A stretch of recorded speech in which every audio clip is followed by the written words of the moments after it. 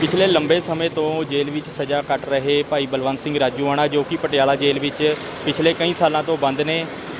ਪਿਛਲੇ ਦਿਨੀ ਉਹਨਾਂ ਵੱਲੋਂ ਆਪਣੀ ਰਿਹਾਈ ਨੂੰ ਲੈ ਕੇ ਭੁੱਖ ਹੜਤਾਲ ਸ਼ੁਰੂ ਕੀਤੀ ਗਈ ਸੀ। ਅੱਜ ਉਹ ਭੁੱਖ ਹੜਤਾਲ ਚੌਥੇ ਦਿਨ ਵਿੱਚ ਸ਼ਾਮਿਲ ਹੋ ਚੁੱਕੀ ਹੈ। ਉਹਨਾਂ ਦੀ ਭੈਣ ਬੀਬੀ ਕਮਲਦੀਪ ਕੌਰ ਅੱਜ ਉਹਨਾਂ ਨਾਲ ਮੁਲਾਕਾਤ ਕਰਕੇ ਆਏ ਨੇ, ਸਾਡੇ ਨਾਲ ਮੌਜੂਦ ਨੇ। ਕੀ ਹਾਲਾਤ ਨੇ ਭਾਈ ਰਾਜੂਆਣਾ ਜੀ ਦੇ? ਅਸੀਂ ਜਦੋਂ ਮੁਲਾਕਾਤ ਕਰਨ ਗਏ ਆ ਤਾਂ ਹਾਲੇ ਤੱਕ ਜਿਹੜੇ ਸ਼੍ਰੋਮਣੀ ਕਮੇਟੀ ਪ੍ਰਧਾਨ ਨੇ ਉਹਨਾਂ ਦੀ ਕੋਈ ਮੁਲਾਕਾਤ ਨਹੀਂ ਹੋਈ। ਤੇ ਵੀਰ ਜੀ ਜਿਹੜੇ ਨੇ ਉਹਨਾਂ ਦੀ ਸਿਹਤ ਪਹਿਲਾਂ ਨਾਲੋਂ ਕਾਫੀ ਵਿਗੜ ਚੁੱਕੀ ਆ। ਸਿਹਤ ਵੀਰ ਜੀ ਦੀ ਜ਼ਿਆਦਾ ਠੀਕ ਨਹੀਂ ਹੈਗੀ। ਡਾਕਟਰਾਂ ਨੇ ਸਾ- ਆਏ ਸੀਗੇ ਚੈੱਕਅਪ ਕਰਨ ਤੇ ਵੀਰ ਜੀ ਦਾ ਜਿਹੜਾ weight ਆ ਉਹ ਵੀ 5 ਕਿਲੋ ਤਕਰੀਬਨ ਘਟ ਚੁੱਕਾ ਹੈਗਾ ਤੇ ਵੀਰ ਜੀ ਦੀ ਸਿਹਤ ਠੀਕ ਨਹੀਂ ਹੈਗੀ। ਤੇ ਪਿਛਲੇ ਦਿਨੀ ਐਸਜੀਪੀਸੀ ਦੀ ਇੱਕ ਕਮੇਟੀ ਵੀ ਉਹਨਾਂ ਨੂੰ ਮਿਲ ਕੇ ਗਈ ਸੀ। ਉਹਨਾਂ ਨੂੰ ਭਰੋਸਾ ਦਿਵਾਇਆ ਗਿਆ ਸੀ ਕਿ ਰਾਜਨਾਥ ਨਾਲ ਫੈ- ਮੀਟਿੰਗ ਕੀਤੀ ਜਾਏਗੀ। ਕੀ ਫੈਸਲਾ ਨਿਕਲਿਆ? ਹਾਂਜੀ, ਜਿਸ ਤਰ੍ਹਾਂ ਮੀਡੀਆ ਦੇ ਵਿੱਚ ਆਇਆ ਸੀਗਾ ਕਿ ਸ਼੍ਰੋਮਣੀ ਅਕਾਲੀ ਦਲ ਦੇ ਪ੍ਰਧਾਨ ਸੁਖਬੀਰ ਸਿੰਘ ਬਾਦਲ, ਬੀਬਾ ਹਰਸਿਮਰਤ ਕੌਰ ਬਾਦਲ, ਕੈਬਨਿਟ ਮੰਤਰੀ ਨੇ ਜਿਹੜੇ ਕਿ ਨਰੇਸ਼ ਗੁਜਰਾਲ ਜੀ, ਇਹ ਸਾਰੇ ਮੁਲਾਕਾਤ ਕਰਨ ਜਾਣਗੇ ਤਾਂ ਸਾਨੂੰ ਵੀ ਤੇ ਪੂਰੀ ਸਿੱਖ ਕੌਮ ਇਸ ਚੀਜ਼ ਵੱਲ ਅੱਖਾਂ ਲਾ ਕੇ ਦੇਖ ਰਹੀ ਸੀ ਕਿ ਕੁਝ ਸ਼ਾਇਦ ਕੋਈ ਫੈਸਲਾ ਆ ਜਾਏ ਤੇ ਸ਼ਾਇਦ ਗ੍ਰਹਿ ਮੰਤਰਾਲਾ ਹੁਣ ਫੈਸਲਾ ਲੈ ਲੇ, ਇੱਕ ਉਮੀਦ ਸੀਗੀ।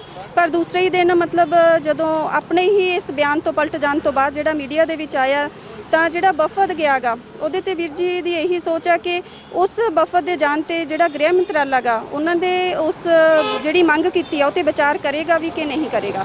ਵੀਰ ਜੀ ਗ੍ਰਹਿ ਮੰਤਰਾਲੇ ਦਾ ਦੇਖਣਾ ਚਾਹਣਗੇ ਕਿ ਉਹ ਇਹਨਾਂ ਦੇ ਵਫਦ ਜਿਹੜਾ ਗਿਆਗਾ ਉਹ ਤੇ ਵਿਚਾਰ ਕਰਦੇ ਵੀ ਆ ਕਿ ਨਹੀਂ ਕਰਦੇ। ਫੈਸਲੇ ਨੂੰ ਐ ਲਟਕਾਇਆ ਜਾ ਰਿਹਾ ਹੈ ਕੀ ਸਮਝਦੇ ਹੋ ਤੁਸੀਂ ਇਸ ਦੇ ਪਿੱਛੇ? ਅਸੀਂ ਇਹੀ ਸਮਝਦੇ ਹਾਂ ਪਰਿਵਾਰ ਕਿ ਇਹ ਰਾਜਨੀਤੀ ਹੋ ਰਹੀ ਆ। ਤੇ ਅਸੀਂ ਤਾਂ ਬੇਨਤੀ ਕਰਨਾ ਚਾਹਾਂਗੇ ਕਿ ਵੀਰ ਜੀ ਨੂੰ 23 ਸਾਲ ਹੋ ਚੁੱਕੇ ਨੇ, ਆਪਣੀਆਂ ਕਈ ਸਜ਼ਾਵਾਂ ਉਹਨਾਂ ਦੀਆਂ ਕੱਟ ਚੁੱਕੇ ਨੇ ਤੇ ਜਿਹੜੀ ਰਾਜਨੀਤੀ ਆ, ਇਹਨੇ ਬਹੁਤ ਘਰ ਬਰਬਾਦ ਕਰਤੇ ਸਾਡੇ, ਪਹਿਲਾਂ ਹੀ ਭੈਣ ਭਰਾ ਸਾਡੇ ਖੋਲੇ ਤੇ ਮੇਰਾ ਤਾਂ ਇਹੀ ਕਹਿਣਾਗਾ ਪਰਿਵਾਰ ਦਾ ਵੀ ਤੇ ਸਾਡਾ ਤਾਂ ਬੇਨਤੀ ਆ ਰਾਜਨੀਤਿਕ ਲੋਕਾਂ ਨੂੰ ਕਿ ਹੁਣ ਇਹਦੇ ਰਾਜਨੀਤੀ ਨਾ ਕਰੋ 23 ਸਾਲ ਹੋ ਗਏ ਇਸ ਤੇ ਫੈਸਲਾ ਲਿਆ ਜਾਵੇ। ਰਵਨੀਤ ਬਿੱਟੂ ਵੱਲੋਂ ਵੀ ਟਿੱਪਣੀ ਕੀਤੀ ਗਈ ਹੈ। ਹਾਂਜੀ, ਰਵਨੀਤ ਸਿੰਘ ਬਿੱਟੂ ਨੇ ਜਿਹੜੀ ਟਿੱਪਣੀ ਕੀਤੀ ਆ, ਉਹ ਤੇ ਮੇਰਾ ਇਹੀ ਕਹਿਣਾਗਾ ਕਿ ਰਵਨੀਤ ਸਿੰਘ ਬਿੱਟੂ ਨੂੰ ਇਹ ਜੀ ਟਿੱਪਣੀ ਕਰਨੀ ਨਹੀਂ ਚਾਹੀਦੀ ਸੀਗੀ। ਕਿਉਂਕਿ ਉਹਦਾ ਜਿਹੜੇ ਉਹ 35000 ਕਤਲਾਂ ਦੀ ਗੱਲਬਾਤ ਕਰ ਰਹੇ ਸੀ, ਤਾਂ ਉਹਨਾਂ ਨੂੰ ਪਤਾ ਹੋਣਾ ਚਾਹੀਦਾ ਕਿ 35000 ਜਿਹੜੇ ਬੇਗੁਨਾਹਾਂ ਦੇ ਕਤਲ ਨੇ, ਉਹਦੇ ਦਾਦੇ ਨੇ ਕੀਤੇ ਸੀਗੇ।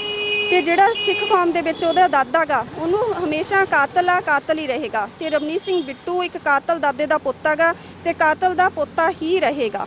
ਤੇ ਵੀਰ ਜੀ, ਹੁਣੇ ਜਿਸ ਤਰ੍ਹਾਂ ਉਹਨੇ ਕਿਹਾ ਕਿ ਸੰਵਿਧਾਨ ਦੀ ਗੱਲ ਹੈ, ਤੇ ਵੀ ਉਹਨੂੰ ਰਵਨੀਤ ਸਿੰਘ ਬਿੱਟੂ ਨੂੰ ਪਤਾ ਹੋਣਾ ਚਾਹੀਦਾ।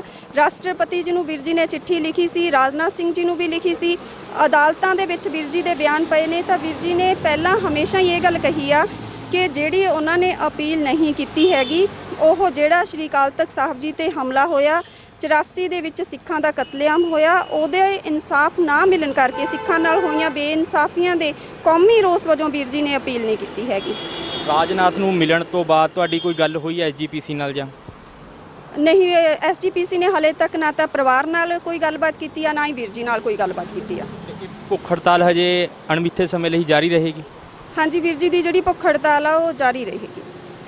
ਸੋ ਇਹ ਸਨ ਬੀਬੀ ਕਮਲਦੀਪ ਕੌਰ ਜਿਨ੍ਹਾਂ ਨੇ ਦੱਸਿਆ ਕਿ ਭਾਈ ਬਲਵੰਤ ਸਿੰਘ ਰਾਜੋਆਣਾ ਦੀ ਜਿਹੜੀ ਸਥਿਤੀ ਆ, ਉਹ ਕਾਫੀ ਨਾਜ਼ੁਕ ਬਣੀ ਹੋਈ ਹੈ 5 ਕਿਲੋ ਭਾਰ ਜਿਹੜਾ ਉਹਨਾਂ ਦਾ ਘਟ ਚੁੱਕਿਆ ਪਰ ਅਜੇ ਵੀ ਉਹਨਾਂ ਦੀ ਜਿਹੜੀ ਭੁੱਖ ਹੜਤਾਲ ਹੈ, ਜਦ ਤੱਕ ਕੋਈ ਰਿਹਾਈ ਲਈ ਫੈਸਲਾ ਨਹੀਂ ਆਉਂਦਾ, ਇਸੇ ਤਰ੍ਹਾਂ ਜਾਰੀ ਰਹੇਗੀ। ਕੈਮਰਾ ਪਰਸਨ ਕਮਲ ਦੁਆ ਦੇ ਨਾਲ ਅਮਨਦੀਪ ਸਿੰਘ, ਅਜੀਤ ਵੈਬ ਟੀਵੀ, ਪਟਿਆਲਾ।